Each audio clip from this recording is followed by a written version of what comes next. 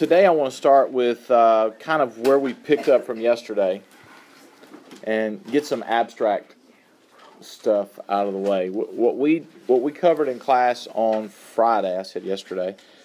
What we covered in class on Friday is that the vertex and the axis of symmetry of a parabola are the average of the two x-intercepts because of the symmetry of the parabola. Okay, so the vertex always takes place smack dab in the middle of the x-intercepts, even if the x-intercepts are imaginary, even if there aren't any, the zeros or the roots of that quadratic, if you average those zeros, you're still going to get the symmetry point for the parabola. All right, so let's take that fact to the abstract, and let's go back to our um, standard form for a quadratic equation ax squared plus bx plus c.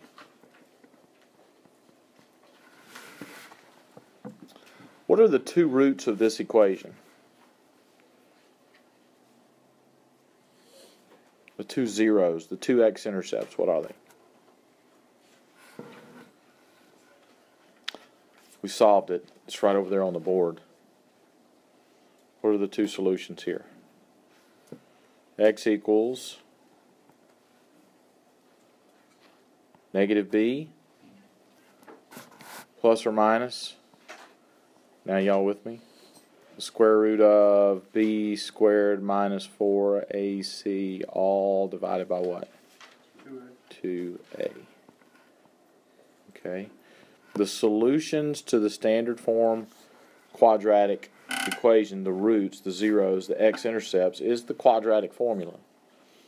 Okay? Now, keeping in mind what we were talking about on Friday, the axis of symmetry, right? The axis of symmetry and the x coordinate of the vertex come from the average of these two x-intercepts. Right? So if we take the average of these two things, that means I'm going to take these two values and average them together. What's negative b plus square root of b squared minus 4a? c all over 2a plus, again, another one, negative b plus, excuse me, minus the square root of b squared minus 4ac all over 2a. And if you divide all of that by 2, that's going to give us an average. Now, what happens, excuse me there, what happens when we add these two terms together? What parts go away? The square root parts, right? Because I have a common denominator of 2a, I can add these together. This and this cancel each other out because it's plus and minus. They're opposites of each other, so their sum is zero. So when I simplify this, it very quickly becomes um, negative b minus b, that's negative 2b, or not. There you go. Over 2a, and all that's going to be divided by 2. That's kind of a weird thing, but that's what we get. Negative b over 2a all divided by 2. Okay? And what that simplifies to be is negative b over 2a.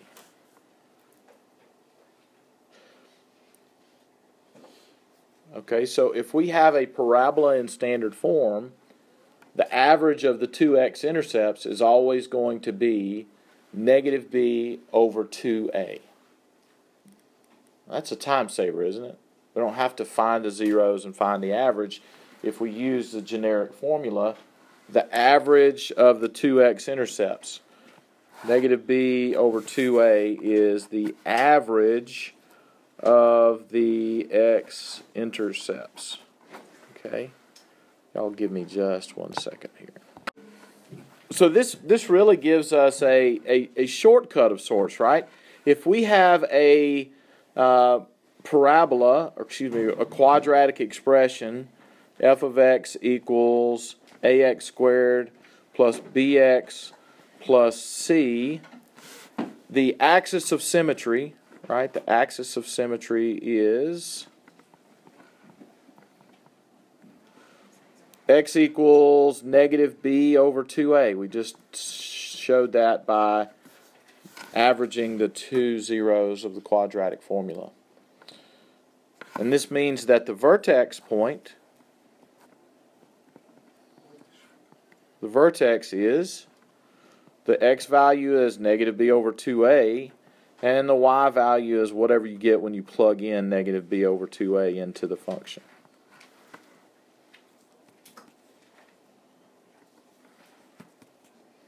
Okay, and this is going to tie directly into what we're doing today. Okay, um, vertex is negative b over 2a and f of negative b over 2a. And we and we kind of saw that with the two homework problems that we just worked, right? When the the solutions were, uh, I forget what they were, eight over eight plus or some, minus something over two. Eight over two was b over 2a. Negative b over 2a ends up being the the average of the two zeros. Okay, so negative b over 2a and f of negative b over 2a. So if we went back and looked at that um, number 5 from the homework using these two formulas, what was number 5 again? X squared plus four x plus eight. f of x or y equals x squared plus 4x Plus, uh, plus eight. plus 8. Okay, the axis of symmetry and the vertex. Look, negative b over 2a. That's negative 4 over 2 times 1. That's negative 2. Just that quickly. All right. And then you plug that in and you get negative 2 squared plus 4 times negative 2. That's negative 8 plus 8. Negative 2 squared is 4.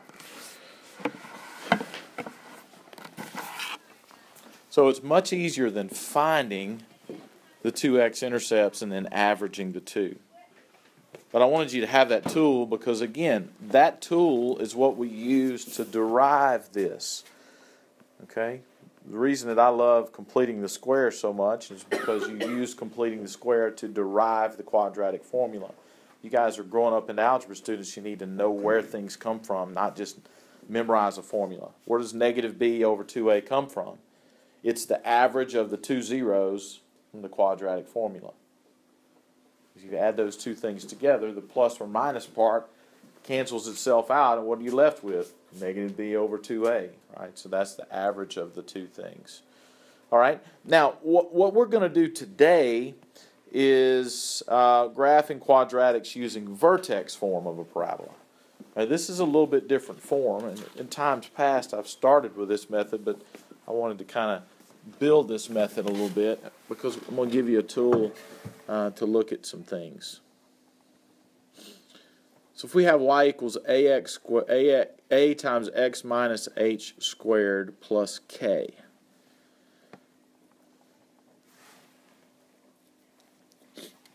This is a formula. I want to remind you guys of a fact about formulas. If you have a negative sign in a formula, subtraction sign in a formula, any value that goes in there will change, and any value that comes out of there will change. So that negative sign changes values when you put numbers in, it changes the value when you pull it out. Okay?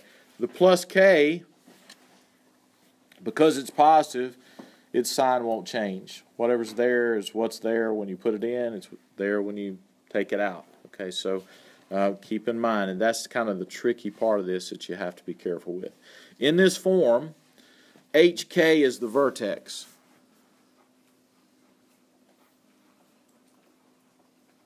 Okay?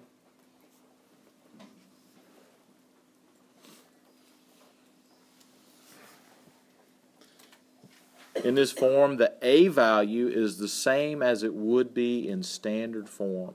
That is huge. Okay, the A value does not change. It's the same as the A value would be if we put this into standard form. Right, and that makes perfect sense. Right, if we expand x minus h squared, if you multiply x minus h times x minus h, you're going to get x squared, right? X times x is x squared, and then a times x squared would be ax squared. So you get the ax squared right back. Whatever that is, is the same value it would be if we were in standard form. And all this is going to play into our hands, right? I'm going to tie these two things together. So there are two ways we can put quadratic functions into vertex form. The first way is completing the square. You notice this, we have a completing the square, we have a completed square right here. x minus h squared.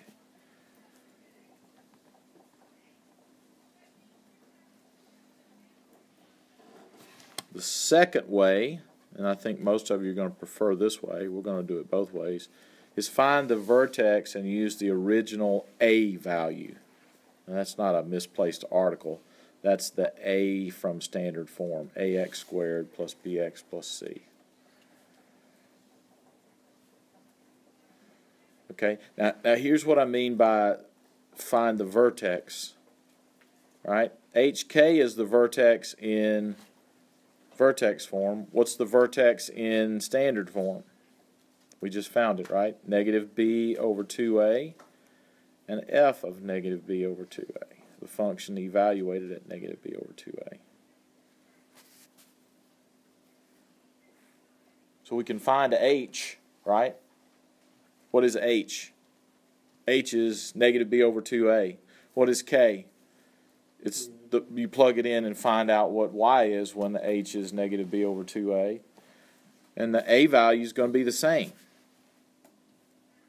So if you can find h and k, then you can put it into standard form by finding the vertex first and then putting it into vertex form that way. All right, but let's let's practice a little bit of uh, this. Um, but, but before we do, I want to get one more fact, guys, that, that we do this. All right, so we've just established here that, let me back up. Vertex form and standard form both share the same A value, right? So they have that in common. What does A tell us? In the parabola, what uh, what does the parameter A, what effect does it have on the parabola? Anybody, somebody. Wake up Monday. What does A do? What's the difference between um, y equals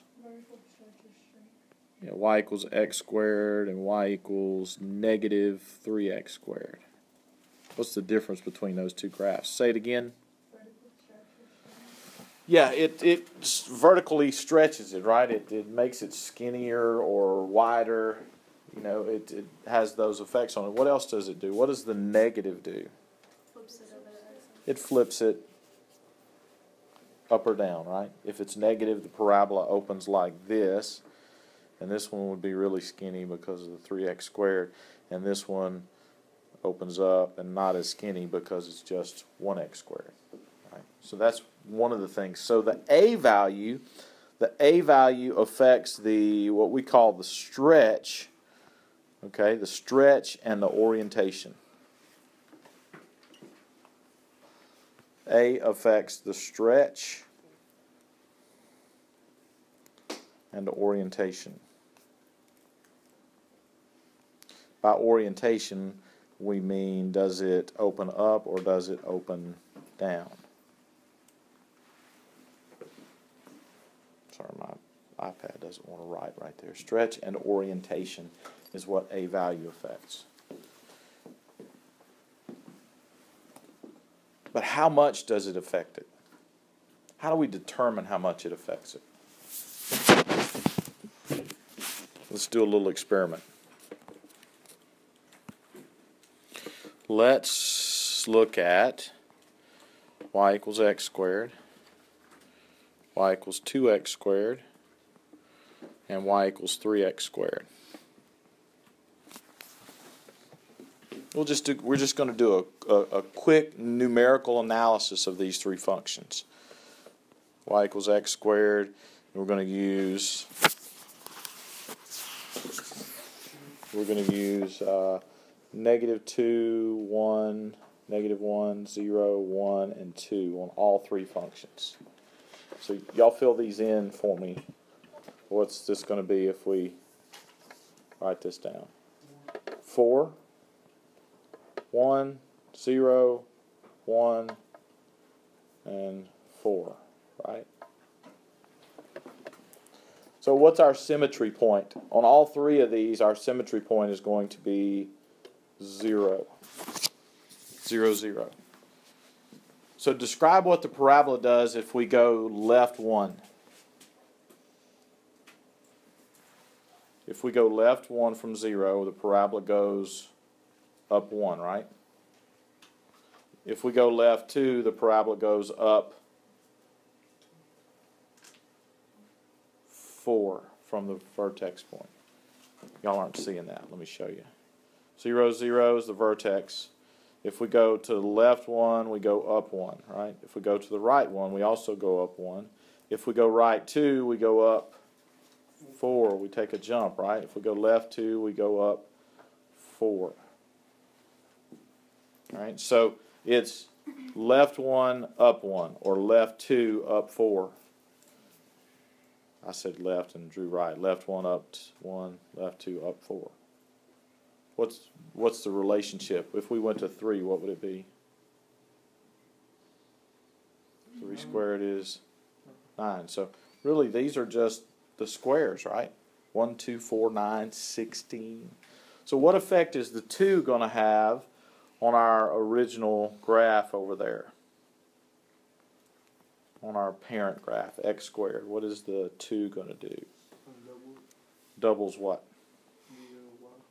It's going to double all the y values, right? So 0, 0 is going to remain unchanged. Left 1, instead of going up 1, we're going to be going up 2. If we go left 2, instead of going up 4, we're going to go up 8. So it doubles the squares. Left 1 up 2. Left 2 up 8. Right? And the same thing would happen on the right side.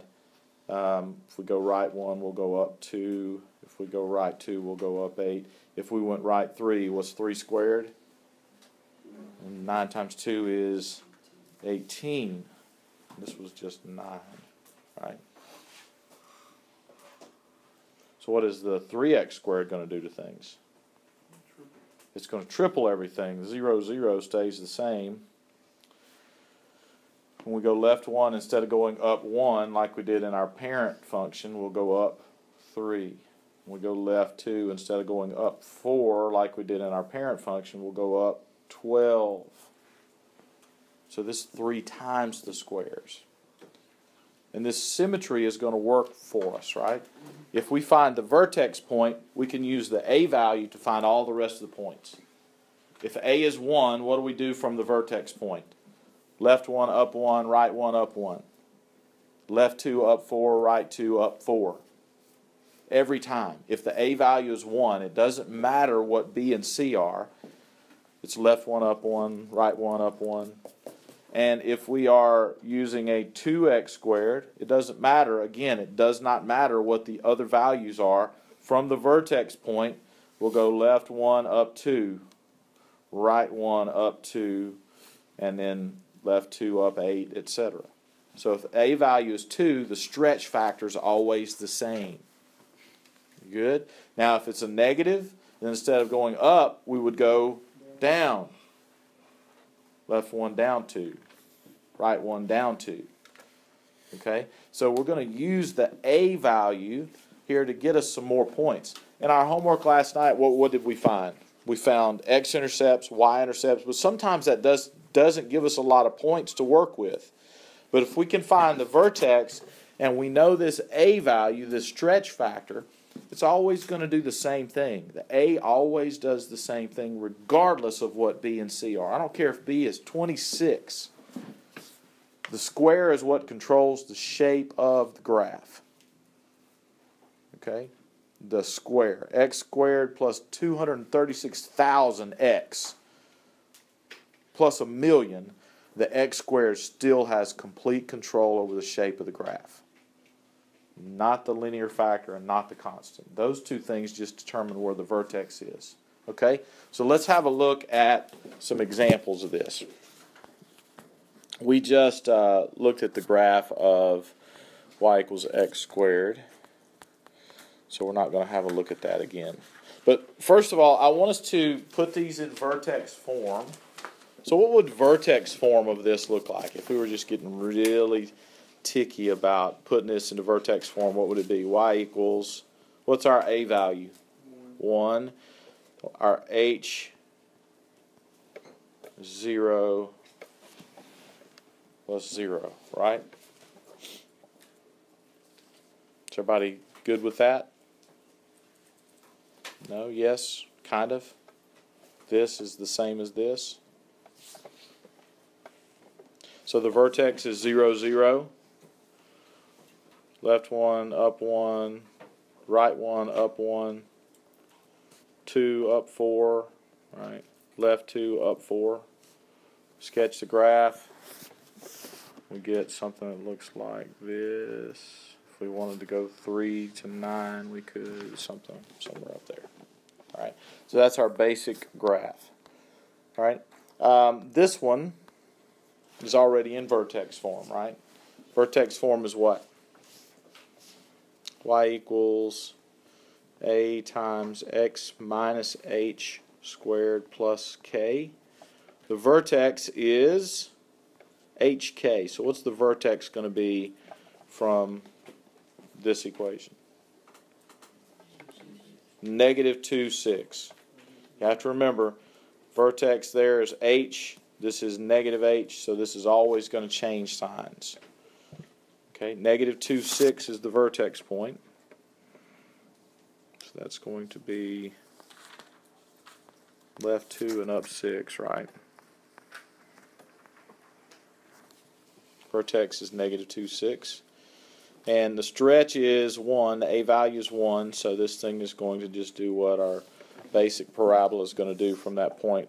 Uh, right 1, up 1, left 1, up 1, right 2, up 1, 2, 3, 4, left 2, up 1, 2, 1, 2, 3, 4. Alright, so the graph is going to look like this.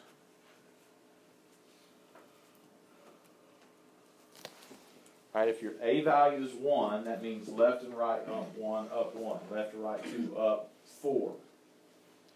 Okay, so we can always generate those other points just knowing what the stretch factor does to the parabola. Okay?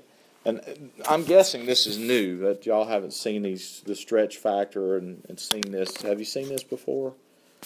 It's not a normal approach in Algebra 2, but I want you to kind of get more accustomed to examining things uh, like this. All right? f of x equals 2 times x minus 5 squared. Is this in vertex form already? What's vertex form? y equals a times x minus h squared plus k. If this is in vertex form, what's my k value? Zero, right? There's a plus zero hanging out, always. So what's the vertex of this parabola? Five, zero is correct. That's right here. Right? My stretch factor,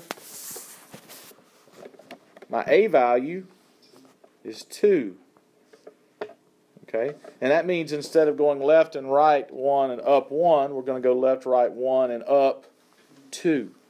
So from the vertex point, you go right 1 up 2, somewhere there, left 1 and up 2. Right? And instead of going left or right up 2 and up 4, we'll go left or right 2 and up 8. Right? So left or right 2, this is right 2 and up 1, 2, 3, 4, 5, 6, 7, 8. Same thing on the other side. Left 2 and up 2, 8. And that gives us the stretch of this graph. So it's a lot skinnier than just the regular x squared graph is.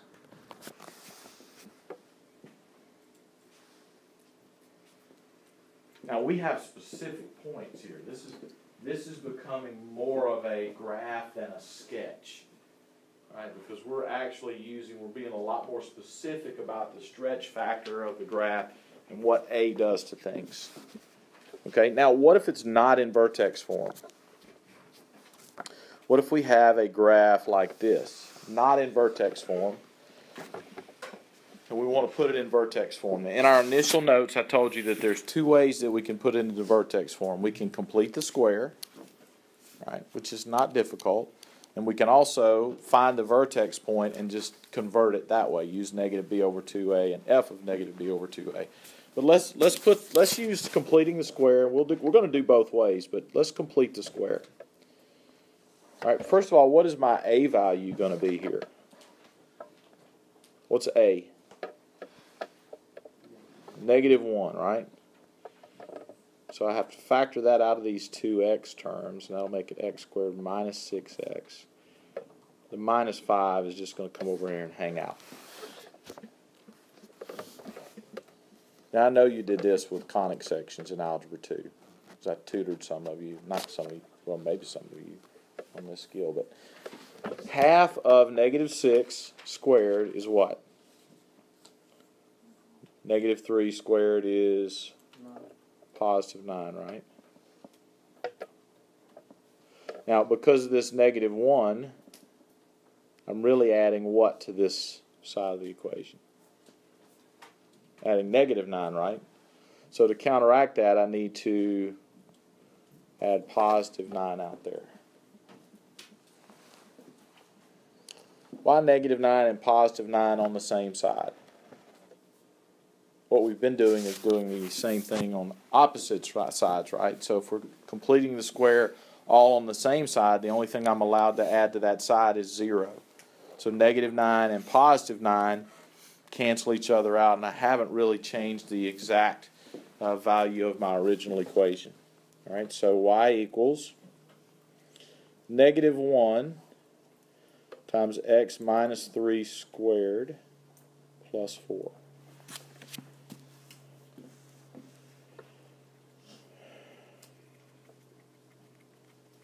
Okay? Now, before we graph that, let me show you the other way to put it into vertex form. All right, if we're going to put it into vertex form, the other way to do this is to find the vertex. Right? The vertex is negative b over 2a, and then the function evaluated at negative b over 2a. And that will be my h value and my k value. Right? What's negative b over 2a would be what? Negative 6 over 2 times negative 1, which is 3.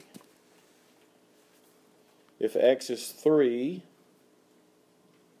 y is negative 9 plus 18 minus 5. That's equal to what? 4. So my vertex is 3, 4. That means H is 3, K is 4. My A value is negative 1, X minus H squared plus K.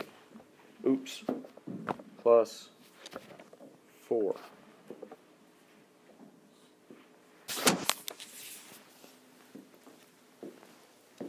So you can complete the square to put it into vertex form. That's useful because we're going to be completing the square with our other conic sections. But you can also find the vertex and plug the vertex into the vertex form. Right? I, I think in this instance, it's a little easier to find the vertex. But you can pick or choose which one that you prefer. All right. Either way, graph this. What's the vertex point? We're almost done. 3, 4, right? That's right in this vicinity. 3, 4. Man, my, my iPad's not cooperating today. Come on, iPad. Three, four. Come on, you can do it. Three, four. That's right. Close enough. From there, instead of up, we're going down, right? Left one, down one. Left two, down four. One, two, three, four. That's three, three, isn't it? I missed my X again. Three, four is up here. So left one, down one, right one, down one, left two, down four, right two, down four. And we can sketch the graph like that. Okay. Using the stretch factor and the vertex.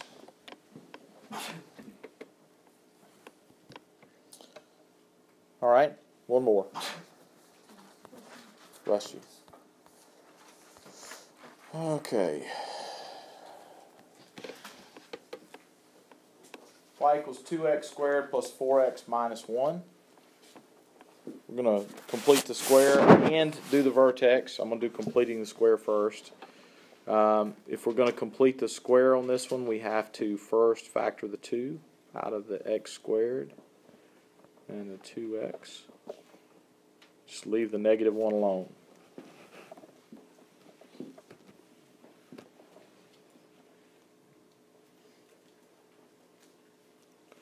Right? Is everybody clear on that? Half of 2 is 1, and 1 squared is plus 1, right? But what I've really added here is 2 times 1. So I've added 2. So to keep the equation in balance, what do I need to do on the outside of the parentheses? Subtract 2. Right. Add 2, subtract 2, that means I've got a net change of 0. I've added 0. Which is the only thing we're allowed to add to one side of the equation is 0. Right? If I add 2 on this side, that means I add 2 on this side, but that needs to come over to the other side and be minus 2 to put it in vertex form. All right, so we've got y equals 2 times x plus 1 squared minus 3. That means the vertex is negative 1, negative 3. Somewhere right about there.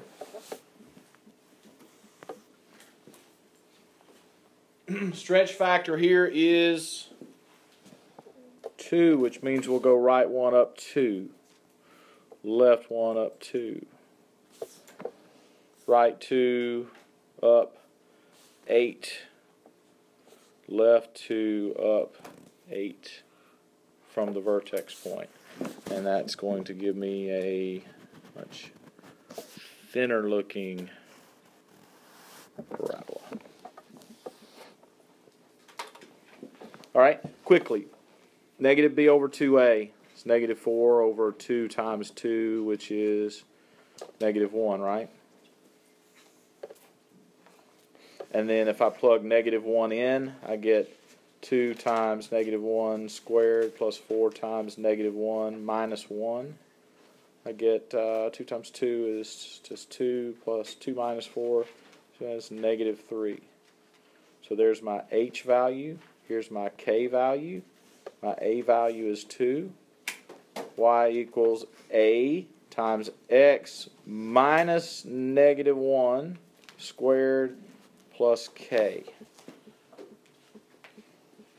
So you can use the negative b over 2a to find the vertex and put it in vertex form without completing the square.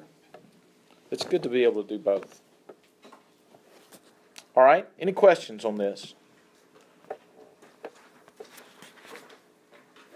This is not uh, your homework. We'll, I'm going to grab you